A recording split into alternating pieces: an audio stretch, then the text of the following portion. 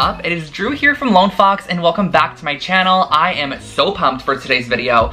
I'm a huge fall fan, like I'm a fall freak, you know? Thumbs up this video if you are also a fall freak because I just absolutely love fall time. Like I swear to you guys, I decorate my apartment in very warm tones year round, but in the fall time, I decorate it with even warmer tones because why not? Fall and winter are two of my favorite seasons for sure, and especially when it comes to decorating because I feel like what can you really do for spring and summer? Like you can add stuff to your apartment, like you can put flowers in it, you can put pastels in it, you can put a sun motif in it. Like, but for fall and winter, you can really do the most. Like, those are my favorite times to decorate my apartment for. And today I'm decorating with you guys, and I'm also doing three really, really simple, super cute DIY projects as well that I think you guys are going to love. But before jumping into the video, I just want to thank you guys so, so, so much for all of the love on the Bretman series. Like, it is absolutely crazy how many views that series has. I really didn't think it would get, like, I thought it was gonna get good views, of course, you know, but I didn't think it was gonna do as well as it did. And I just wanna thank you guys so much. And if you are new here or you just found my channel from those series, welcome. I post brand new home decor and DIY content every single week. And I just wanna thank you guys. Like, thank you so, so, so much for supporting, for commenting, for thumbsing up, even leaving your constructive criticism. I really like to read all of your guys' comments. And it was definitely one of the hardest and biggest projects I've done. First time actually. I've never done an apartment like that before and I've really only made over a couple of rooms but I was just so excited and I think Bretman really loved the outcome and I just really loved the outcome as well so thank you guys. And yeah let's just jump on into today's video.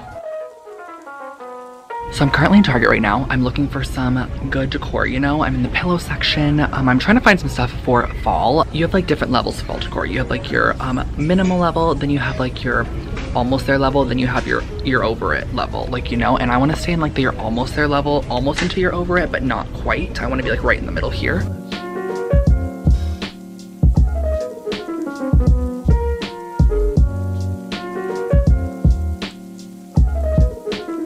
I don't know if you guys remember, but I talked about in my last Bretman video that I got his plant from the Halloween section. This is the plant I got. I'm really into this. I saw Nostalgia actually use it in a video recently, and I feel like this would look so good on my wooden dresser. This glass pumpkin is so cute. It has little bubbles in it, but I love how it's like a very modernized kind of fall decor piece. Oh, I've been looking for kind of a magnolia wreath similar to this.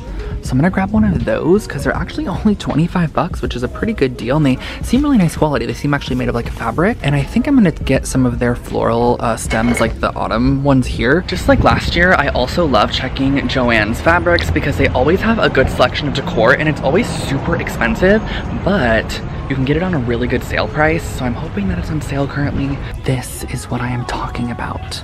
I love 60% off and like look how cute some of the stuff is like this little pumpkin garland um, these garlands up here bows ribbons. I mean of course I'm not going to be getting a lot of this but I just want to share with you guys like I'm in the faux flower section because it's 60% off of the autumn flowers and I really want to do like a DIY wreath. I thought these colors were super pretty, mixing in like the pink tone into the more fall colors. For my wreath, I also picked up this brass ring um, and then two pieces of felt because I want to create some like DIY felt leaves. I think that will add like a little handmade touch to it. And I dropped a flower.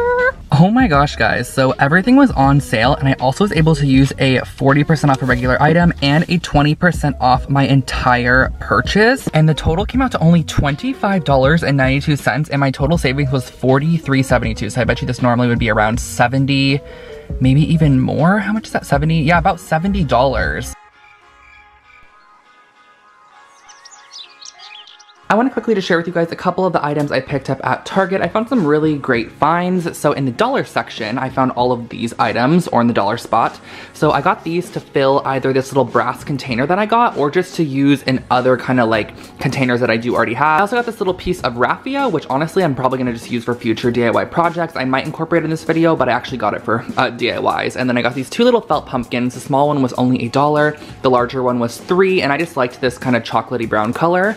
And one of my favorite, favorite, favorite finds was this wreath here. This is a magnolia leaf wreath and I absolutely Love this. I've been looking at them for so long and they're always pretty expensive to find a faux one, but this was only $25 at Target, which I think is a pretty good deal because you can repurpose this, you can add to it, you can add some fall florals to it, whatever you wanna do to make it a little bit more festive, but I might just leave it as is because I really like the simplicity of it. And then I also just picked up one little pillow. I thought this one was really pretty. I liked the kind of tapestry element and the texture, and it also had this little bit of a leather woven strand on the edge. This was $34.99, but honestly, like this is a great great universal piece. You can really repurpose this so many times.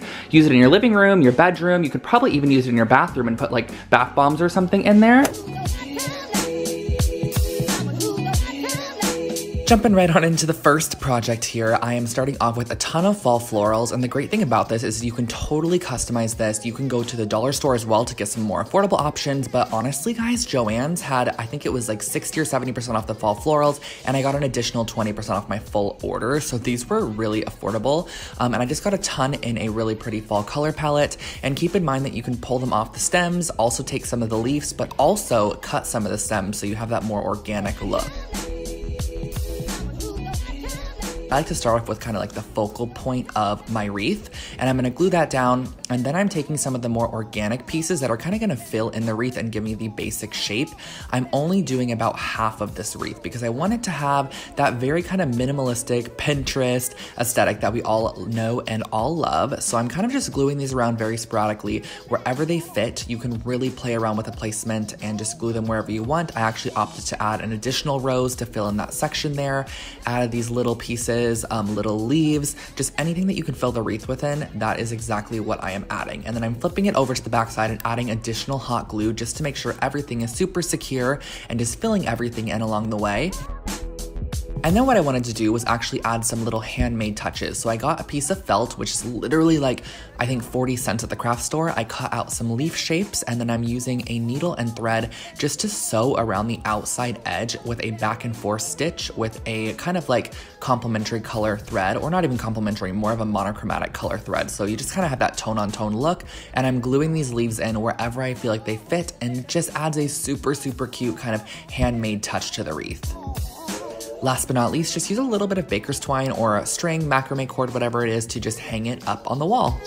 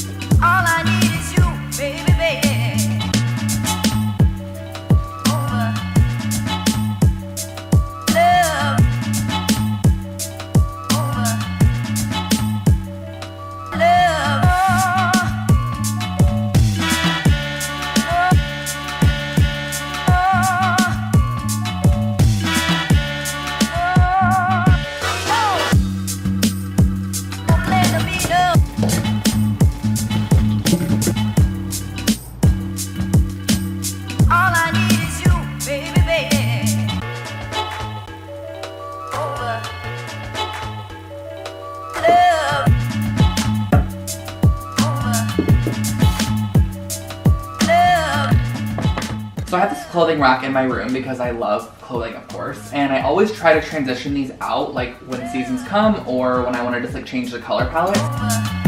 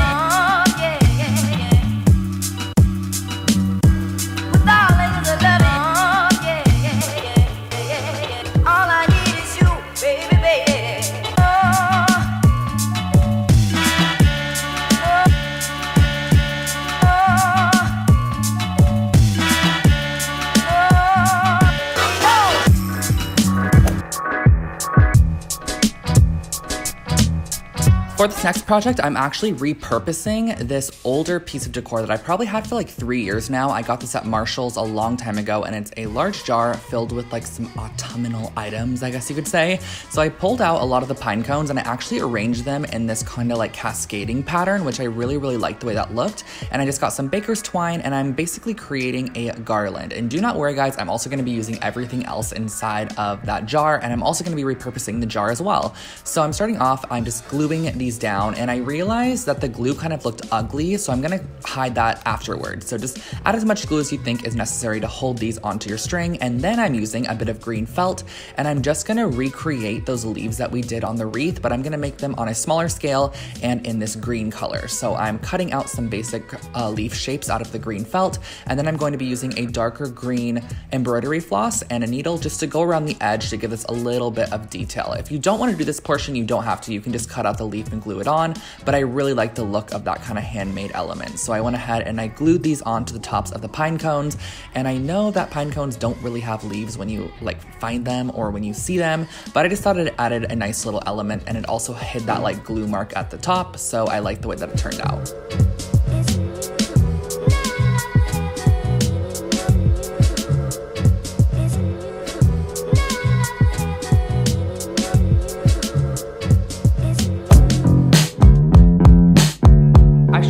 Guys before. These are the floor pillows that we've had. Um, they're from Article, but they honestly blend in with the rug so much. So I actually ordered two new ones from Urban, and these are actual floor pillows. I got a mustard one and then like a cream one, and I'm really excited because these are just gonna go kind of under the coffee table and have like a little bit of a layered look. As I was decorating, I kind of felt like it needed a little bit of real life fall, you know? So I got these white pumpkins at the grocery store, and I got this one here too that has like a little bit of orange in it, but I personally like the white ones a little bit more. I think they're kind of aesthetically pleasing, so I picked up probably like 12 of these.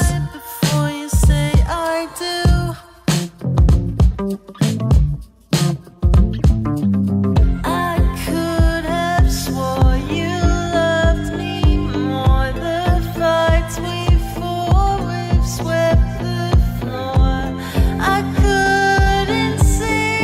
Honestly, guys, I wouldn't even really consider this a DIY. I just wanted to throw it in to show you guys what I did. I actually went ahead and I got these like metallic pumpkins at Joann's and I spray painted them with this putty spray paint, uh, just anything lighter color that was easier to apply the acrylic paint to. So then I went ahead and I used green acrylic paint, a minty color, and a sage color. I really liked the kind of green tones in these paints. And I actually ended up going in and adding a lot of black to the dark green one. And then this light mint one was perfect. And then I also did a sagey colored one right here. And then I also just used some of the original putty colored ones. So if you're curious, those are around my apartment.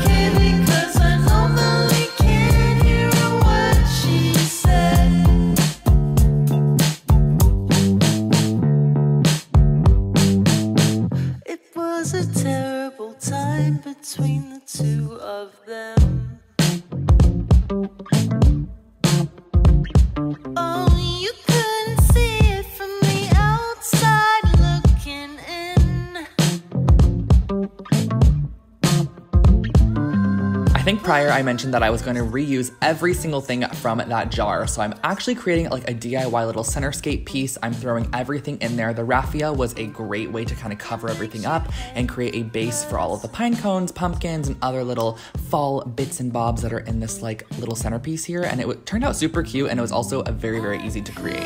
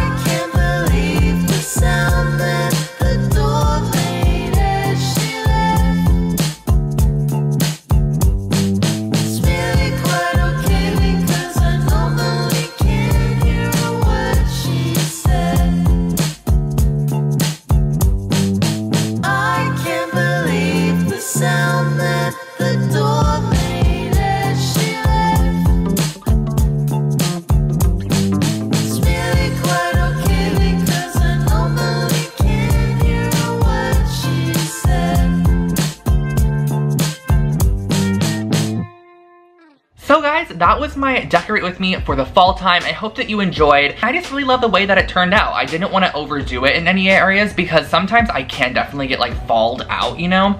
We can all get falled out every now and then. And people know that when they come over and they walk in, they know that I actually intentionally decorated for fall, but I didn't overdo it. Like I just wanted to keep it like right at that level. So if you guys like this video, definitely give it a thumbs up. Leave a comment below. What was your favorite part? And also do not forget to subscribe to my channel for brand new videos every single week. I post them on home decor and DIY. And don't forget to also click the little bell icon next to the subscribe button. Even if you're already subscribed, click that bell icon. It's gonna notify you when I upload brand new videos because sometimes YouTube doesn't notify you. So just click that icon icon and you will be sure to be notified when I upload new videos because you don't want to miss them or else it is spooky season. You never know what's gonna happen. I'm just kidding. I love you all so much. Don't forget to also check out lonefox.com, enter your email address, and that is all. Too much self-promo. Thank you guys. I love you. Mwah.